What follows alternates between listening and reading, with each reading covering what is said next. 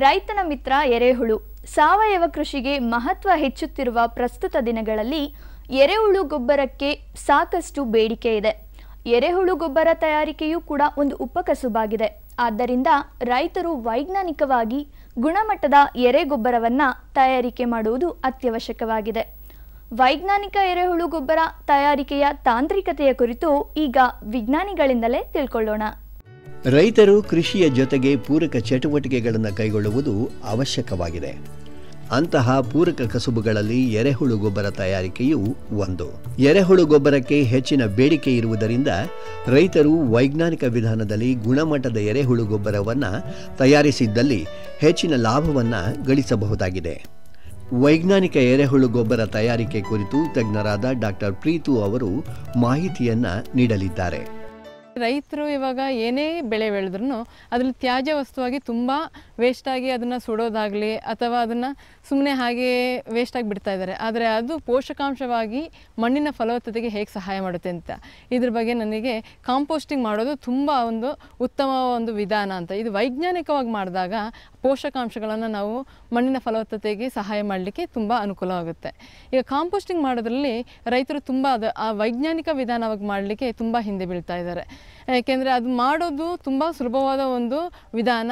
ಅದು ಮಾಡಿ ಆದಮೇಲೆ ಅದನ್ನು ಅವರು ಫಾರ್ಟಿಫೈಡ್ ಆಗಿ ಸಮೃದ್ಧಿಯಾಗಿ ಮಾಡೋಂಥ ಕಾಂಪೋಸ್ಟ್. ಏಕೆಂದರೆ ಅದನ್ನು ದುಡ್ಡು ಕೊಟ್ಟು ನಾವು ತಗೊಳ್ಳೋದು ತುಂಬ ಅದು ಯಾಕೆಂದರೆ ನಮ್ಮ ಕೈಯಲ್ಲಿ ಆಗುವಂಥ ಇದನ್ನು ವಿಧಾನವನ್ನು ಮಾಡೋದು ಒಳ್ಳೆಯದು ಅದ್ರ ಬದಲು ದುಡ್ಡು ಕೊಡೋದನ್ನ ಅವರು ದುಡ್ಡನ್ನು ಉಳಿತಾಯ ಮಾಡುವಂಥ ಕಾರ್ಯನ ಇಲ್ಲಿ ಮಾಡ್ಬೋದು. ವಿವಿಧ ವಿಧಾನಗಳಲ್ಲಿ ಗೊಬ್ಬರ ತಯಾರಿಸಬಹುದಾಗಿದ್ದು, ಕೃಷಿ ತ್ಯಾಜ್ಯಗಳನ್ನು ಬಳಸಿಕೊಳ್ಳಬಹುದು. ಅದರಲ್ಲೂ ರೇಷ್ಮೆ ಕೃಷಿ ಮಾಡುವ ರೈತರು ರೇಷ್ಮೆ ತ್ಯಾಜ್ಯದಿಂದ ಉತ್ಕೃಷ್ಟ ಗುಣಮಟ್ಟದ ಗೊಬ್ಬರವನ್ನು ತಯಾರಿಸಿಕೊಳ್ಳಬಹುದು ಎನ್ನುತ್ತಾರೆ ತಜ್ಞರು. ಕಾಂಪೋಸ್ಟಿಂಗ್ ವೈಜ್ಞಾನಿಕವಾಗಿ ಹೇಗೆ ಮಾಡಬೇಕು ಅಂತ ಒಂದು ತಿಳಿಯೋದು ತಿಳಿಯೋದಂದರೆ ಅದನ್ನು ನಾವು ಒಂದು ಕಾಂಪೋಸ್ಟ್ ಪಿಟ್ ಆಗಲಿ ಅಥವಾ ನಾವು ಮಣ್ಣಲ್ಲೇ ಅಗ್ದು ಒಂದು ಗುಂಡಿ ಥರ ಮಾಡಿಕೊಂಡು ಹಾಗೆ ಇಲ್ಲಾಂದರೆ ಓಪನ್ ಏರಿಯಾದಲ್ಲಿ ಗುಡ್ಡೆ ಇದು ವಿಧಾನದಲ್ಲಿ ನಾವು ಮಾಡಲಿಕ್ಕೆ ಬರುತ್ತೆ. ಈಗ ವಿಧ, ಇದು ಎಕ್ಸಾಂಪಲ್ ಹೇಳೋದಾದರೆ ಇಲ್ಲಿ ರಾಮನಗರ ಜಿಲ್ಲೆಯಲ್ಲಿ ನಮ್ಮಲ್ಲಿ ರೇಷ್ಮೆ ಜಾಸ್ತಿ ಇರೋದು. ಅದು ಒಂದು ಎಕರೆಗೆ ನಮಗೆ ಒಂಬತ್ತರಿಂದ ಹತ್ತು ಟನ್ನಷ್ಟು ತ್ಯಾಜ್ಯ ಪದಾರ್ಥ ಸಿಗುತ್ತೆ. ತುಂಬ ಅದು ಪೋಷಕಾಂಶ ಇರುವಂಥ ಆ ತ್ಯಾಜ್ಯ ವಸ್ತುನ ಏನು ಮಾಡ್ತಾರೆ ಅಂದರೆ ಸುಟ್ಟು ಅದನ್ನು ತುಂಬ ನಾಶ ಮಾಡ್ತಾ ಇದ್ದಾರೆ ಆ ಪೋಷಕಾಂಶನ. ಅದನ್ನು ಮಾಡಲಿಕ್ಕೆ ವಿಧಾನವನ್ನು ನಾನು ಇಲ್ಲಿ ತಿಳಿಸ್ಕೊಡ್ಲಿಕ್ಕೆ ಇಷ್ಟಪಡ್ತೀನಿ. ಮುಖ್ಯವಾಗಿ ನಾವು ಅಲ್ಲಿ ಲೇಯರ್ ವೈಸ್ ಇದರಲ್ಲಿ ಹಂತ ಹಂತವಾಗಿ ಅದನ್ನು ನಾವು ಕಾಂಪೋಸ್ಟಿಂಗ್ ಮಾಡಬೇಕಾಗುತ್ತೆ. ಮೊದಲಾಗಿ ನಾವು ಕೆಳಗೆ ಪದರ, ಪದರವಾಗಿ ಲಿಗ್ನನ್ ಕಂಟೆಂಟ್ ಜಾಸ್ತಿ ಇರುವಂಥದ್ದು ಎಕ್ಸಾಂಪಲ್ ಹೇಳೋದಾದರೆ ತೆಂಗಿಂದ ನಾರಾಗಲಿ, ತೆಂಗಿನ ಸಿಪ್ಪೆ ಆಗಲಿ ಅಥವಾ ಅಡಿಕೆ ಸಿಪ್ಪೆ ಏಕೆಂದರೆ ಇಲ್ಲಿ ರಾಮನಗರ ಜಿಲ್ಲೆಯಲ್ಲಿ ಅಥವಾ ಬೇರೆ ಇದರಲ್ಲಿ ನಾವು ತೆಂಗು ಜಾಸ್ತಿ ನಾವು ಇಲ್ಲಿ ಬೆಳೀತಾ ಇದ್ದೀವಿ. ಅದನ್ನು ಕಾಂಪೋಸ್ಟಿಂಗ್ ಮಾಡೋದು ಹೇಗೆ ಅಂತ. ಅದು ಕಾಂಪೋಸ್ಟಿಂಗ್ ಮಾಡೋಕೆ ಏಕೆಂದರೆ ಈ ಲಿಗ್ನಿನ್ ಕಂಟೆಂಟ್ ಜಾಸ್ತಿ ಇರುವಾಗ ಈ ವೈಜ್ಞಾನಿಕವಾಗಿ ಮಾಡಬೇಕಂದ್ರೆ ನಾವು ಸೂಕ್ಷ್ಮಣುವಿನ ಸೋಂಕನ್ನು ಬಳಸಿ ನಾವು ಈ ಕಾಂಪೋಸ್ಟ್ನ ಮಾಡಬೇಕಾಗುತ್ತೆ. ಮೊದಲು ನಾವು ಲೇಯರ್ನ ನಾವು ಇಂಥದ್ದು ಲಿಗ್ನಿನ್ ಕಂಟೆಂಟ್ ಇರುವಂಥ ಪದಾರ್ಥ, ತೆಂಗಿನ ನಾರಾಗಲಿ, ತೆಂಗಿನ ಸಿಪ್ಪೆ ಆಗಲಿ ಅಥವಾ ಅಡಿಕೆ, ಸಿಪ್ಪೆ, ಇಂಥ ನಾವು ಕೆಳ ಪದಾರ್ಥ, ಪದಾರವಾಗಿ ಹಾಕಿ ಅದ್ರ ಮೇಲೆ ನಾವು ಸಗಣಿನ ಒಂದು ಪದರವಾಗಿ ಹಾಕಬೇಕು ಎಲ್ಲ ಪದರಕ್ಕೂ ಒಂದು ಸಗಣಿ ಪದರ, ಸಗಣಿ ಗಂಜಲನ ಸೇರಿಸಿ ನಾವು ಕಾಂಪೋಸ್ಟ್ ಮಾಡಬೇಕಾಗುತ್ತೆ. ಅದರ ಮೇಲೆ ನಾವು ಯಾವುದೋ ಒಣ ಎಲೆ ಆಗಲಿ, ಒಣ ಹುಲ್ಲಾಗಲಿ ಒಂದು ಲೇಯರ್ ಮಾಡಿಕೊಂಡು ಅದರ ನಂತರ ನಾವು ಪುನಃ ಸಗಣಿ ಮತ್ತು ಗಂಜಲದ ಲೇಯರ್ ಅದರ ನಂತರ ಪುನಃ ಹಸಿರೆಲೆದು ಇದನ್ನು ಲೇಯರ್ ಆಗಿ ಹಾಕ್ಕೊಂಡು ಹಾಗೆ ಅದರ ನಂತರ ನಾವು ಸಗಣಿ ಮತ್ತು ಮಣ್ಣನ್ನು ಒಂದು ಪದರನ ಅದನ್ನು ಮುಚ್ಚಿಬಿಟ್ಟು ನಾವು ಕೊಳಿಲಿಕ್ಕೆ ಬಿಡಬೇಕು. ಕೊಳ್ತಾ ಈ ಪದಾರ್ಥಕ್ಕೆ ನಾವು ಅದನ್ನು ಆಮೇಲೆ ವರ್ಮಿ ಕಂಪೋಸ್ಟ್ ಆಗಿ ನಾವು ಉಪಯೋಗಿಸ್ಬೋದು. ಎರೆಹುಳು ಗೊಬ್ಬರವನ್ನು ಭೂಮಿಗೆ ಹಾಕುವುದರಿಂದ ಅನೇಕ ಅನುಕೂಲಗಳಿವೆ. ಆದ್ದರಿಂದ ರೈತರು ವೈಜ್ಞಾನಿಕ ವಿಧಾನದಲ್ಲಿ ಗೊಬ್ಬರ ತಯಾರಿಕೆ ಮಾಡಿಕೊಳ್ಳುವುದು ಲಾಭಕರ. ಕೃಷಿ ವಿಜ್ಞಾನ ಕೇಂದ್ರದಲ್ಲಿ ಎರೆಹುಳುಗಳು ಲಭ್ಯವಿವೆ. ಹಾಗೂ ಎರೆಹುಳು ಗೊಬ್ಬರ ತಯಾರಿಕೆ ಕುರಿತು ಪ್ರಾತ್ಯಕ್ಷಿಕೆಯ ಮೂಲಕ ರೈತರಿಗೆ ಮಾಹಿತಿಯನ್ನು ಕೂಡ ನೀಡಲಾಗುವುದು ಎನ್ನುತ್ತಾರೆ ತಜ್ಞರು. ಜಿ ಕೆ ವಿ ಕೆ ಇದರಲ್ಲಿ ನಮ್ಮ ಮೈಕ್ರೋಬಯಾಲಜಿ ಡಿಪಾರ್ಟ್ಮೆಂಟಲ್ಲಿ ನಮಗೆ ಆ ಕಾಂಪೋಸ್ಟ್ ಕಲ್ಚರ್ ಸಿಗುತ್ತೆ. ಅದನ್ನು ಉಪಯೋಗಿಸಿ ನಾವು ಕಾಂಪೋಸ್ಟ್ ಮಾಡಲಿಕ್ಕೆ ಸಹಾಯ ಆಗುತ್ತೆ. ಒಂದು ಟನ್ ಕಾಂಪೋಸ್ಟ್ ಇದು ತ್ಯಾಜ್ಯ ವಸ್ತುವಿಗೆ ಒಂದು ಕೆ ಜಿಯಷ್ಟು ಈ ಕಾಂಪೋಸ್ಟ್ ಕಲ್ಚರ್ ಸೂಕ್ಷ್ಮಾಣು ಸೋಂಕನ್ನು ಬಳಸಿ ನಾವು ಕಾಂಪೋಸ್ಟ್ ಮಾಡ್ಬೋದು. ಏಕೆಂದರೆ ಇದು ಲಿಗ್ನಿನ್ ಕಂಟೆಂಟ್ ಇರೋವಂಥದ್ದು ತುಂಬ ದಿನ ತಗೊಳ್ಳುತ್ತೆ ತಿಂಗಳುಗಟ್ಟಲೆ ಆರರಿಂದ ಎಂಟು ತಿಂಗಳಾಗುತ್ತೆ ಅದನ್ನು ಕೊಳಿಲಿಕ್ಕೆ. ಆದರೆ ಈ ಕಾಂಪೋಸ್ಟ್ ಕಲ್ಚರ್ ಹಾಕಿದಾಗ ನಮಗೆ ಮೂರಿಂದ ನಾಲ್ಕು ತಿಂಗಳಲ್ಲಿ ಈ ಕೊಳೆ ಅಂದರೆ ಕೊಳಿಲಿಕ್ಕೆ ಸಹಾಯ ಆಗುತ್ತೆ. ಅಂಥ ಕಾಂಪೋಸ್ಟನ್ನು ನೆಕ್ಸ್ಟ್ ಒಂದು ಮೂರು ಮೂರು ವಾರದಲ್ಲಿ ನಾವು ಕೊಳಿಲಿಕ್ಕೆ ಬಿಡಬೇಕು. ತದನಂತರ ಅದು ಅರ್ಧ ಕೊಳ್ತಂಥ ಪದಾರ್ಥಕ್ಕೆ ನಾವು ಎರೆಹುಳು ಬಿಟ್ಟಾಗ ಅದು ನಮಗೆ ಒಳ್ಳೆ ಎರೆಗೊಬ್ಬರ ಸಿಗುತ್ತೆ. ಆ ಎರೆಗೊಬ್ಬರ ತುಂಬ ಉತ್ಕೃಷ್ಟ ಗೊಬ್ಬರವಾದ ಎಲ್ಲ ಇದಕ್ಕಿಂತ ಉತ್ಕೃಷ್ಟ ಗೊಬ್ಬರ. ಏಕೆಂದರೆ ಅದರಲ್ಲಿ ಪೋಷಕಾಂಶಗಳ ಜೊತೆಗೆ ಅಲ್ಲಿ ಇದು ಒಂದು ಸಸ್ಯದ ಬೆಳವಣಿಗೆ ಬೇಕಾದಂಥ ಪದಾರ್ಥಗಳು ಸಿಗುತ್ತೆ. ಅಮೈನೋ ಆಸಿಡ್ ಆಗಲಿ ಅಥವಾ ಬೇರೆ ಪ್ರೋಟೀನ್ ಅಂಶನೂ ಜಾಸ್ತಿ ಸಿಗುತ್ತೆ. ಇದು ಗಿಡಗಳಿಗೆ ಪೋಷಕಾಂಶದ ಜೊತೆಗೆ ಅದು ಗುಣಮಟ್ಟ ಚೆನ್ನಾಗಿ ಆಗಲಿಕ್ಕೆ ಸಹಾಯ ಮಾಡುತ್ತೆ. ಅದ್ರ ಜೊತೆಗೆ ರೋಗ ಇದಕ್ಕೆ ಕಂಟ್ರೋಲ್ ಬರಲಿಕ್ಕೆ ರೆಸಿಸ್ಟೆನ್ಸ್ ಪವರ್ನ ವೃದ್ಧಿ ಮಾಡುತ್ತೆ. ಇದು ಗಿಡದ ಬೆಳವಣಿಗೆ ಸಹಾಯ ಮಾಡುವಂಥ ಈ ಗೊಬ್ಬರ.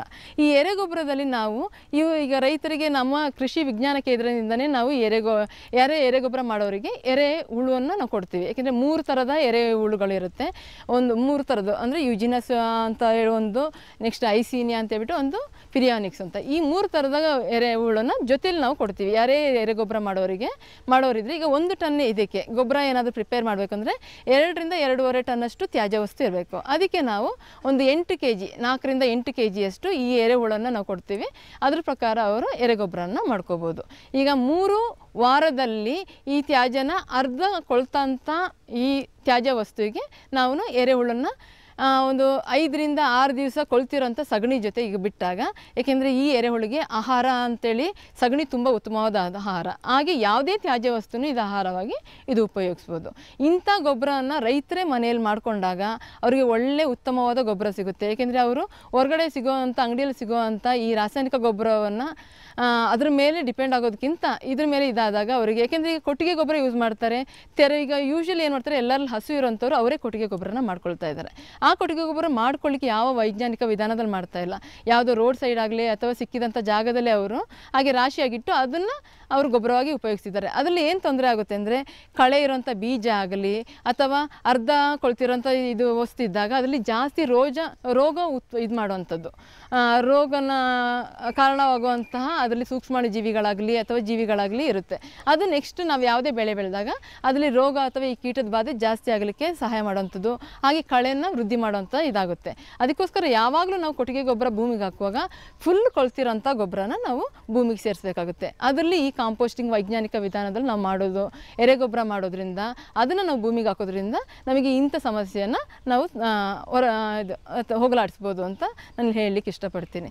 ಹೀಗೆ ತಜ್ಞರು ತಿಳಿಸಿದಂತೆ ಎರೆಹುಳು ಗೊಬ್ಬರವನ್ನು ವೈಜ್ಞಾನಿಕ ವಿಧಾನದಲ್ಲಿ ತಯಾರಿಸಿಕೊಂಡಲ್ಲಿ ಗುಣಮಟ್ಟವನ್ನು ಕಾಯ್ದುಕೊಂಡು ಉತ್ತಮ ಗೊಬ್ಬರವನ್ನು ಒದಗಿಸಬಹುದಾಗಿದೆ.